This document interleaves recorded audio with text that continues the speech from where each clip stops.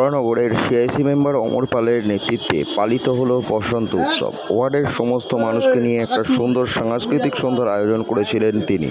সাথে উপস্থিত ছিলেন বরানগরের একাধিক কাউন্সিলর সহ এবারের প্রার্থী সৌগত রায়। চলুন দেখে আসি আজকের অনুষ্ঠানটি কেমন হচ্ছে, আর তার সঙ্গে অবশ্যই জানাব এখানে উপস্থিত মানুষেরা কি বলছেন আজকের বসন্ত উৎসবকে কেন্দ্র করে।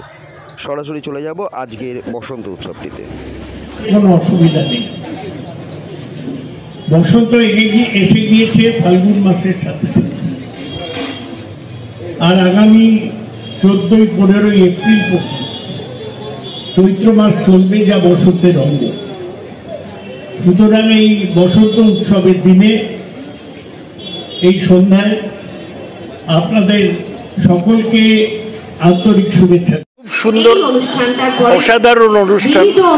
দোলের পরের দিন এত নান্দনিক এত রুচিশীল অনুষ্ঠান।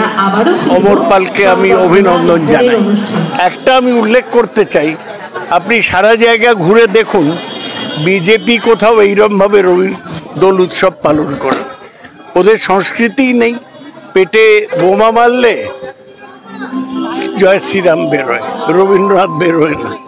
তাই আর কি বলব? তিনি যে মন্তব্য করেছেন মমতা ব্যানার্জি সম্বন্ধে, তাকে নিন্দা করার আমার ভাষা নেই।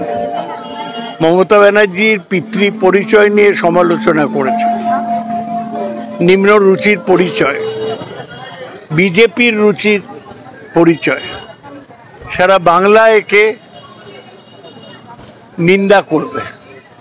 এবং দিলীপ ঘোষের নাক ওর পার্টি রগড়ে দিয়েছে ও সিট কেড়ে নিয়েছে। তা ওর লজ্জা নেই, এইসব কথা বলছে। ভালো আছি। এখানে এসে ভীষণ ভালো লাগছে। তার কারণ হচ্ছে একে তো বসন্ত, আর তার সঙ্গে বসন্ত মানেই হচ্ছে বসন্ত উৎসব অর্থাৎ দোল। আমরা বাঙালিরা, বাংলার মানুষ যারা আমরা বাংলা সভ্যতা, সংস্কৃতির সঙ্গে কৃষ্টিকে বাঁচিয়ে রাখতে চাই, তাদের কাছে এই দিনটা আমাদের কাছে অত্যন্ত গুরুত্বপূর্ণ। তাই বসন্ত উৎসব তেত্রিশ নম্বর ওয়ার্ডে এসে খুবই ভালো লাগছে। সকলে মিলে খুব আনন্দ করছি। যে, মানুষকে সম্মিলিত করার প্রয়াস একটা সুস্থ রুচিবোধের একটা সাংস্কৃতিক অনুষ্ঠান উপহার দেওয়ার জন্য আজকে আমার বসন্ত উৎসব।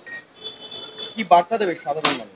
সাধারণ মানুষকে একটাই বার্তা দেবো যে মানুষ যেন ভালো থাকে এবং রাবীন্দ্রিক চেতনায় উদ্বুদ্ধ হয়ে যেন তারা বিভিন্ন রকমের রবীন্দ্র চেতনায় যার যেরকম ভালো লাগে কেউ কবিতা কেউ গান কেউ নাটক বিভিন্নভাবে। কারণ রবীন্দ্রনাথ আমাদের সম্পদ এবং তার লেখনী আমাদের কাছে একটা বিরাট ব্যাপার। কারণ তিনি তার জীবদ্দশায় যা লিখেছিলেন এটা আমার ধারণা বা ওই রকম দশটা জীবদ্দশা একটা মানুষ লিখতে পারে না। একটা বিশাল একটা তার ইয়ে ব্যাপ্তি। যতটা সম্ভব আমরা আমরা স্বল্প শিক্ষিত মানুষ আমরা যতটা সম্ভব তার এই লেখনী পড়বার চেষ্টা করি।